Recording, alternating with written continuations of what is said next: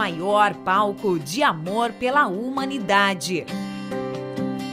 No próximo dia 14 de abril, toda a comunidade se reúne para reviver a trajetória da Paixão de Cristo. Mais de 240 pessoas preparam um espetáculo que será encenado no Morro das Antenas, em Umuarama, a partir das sete e meia da noite.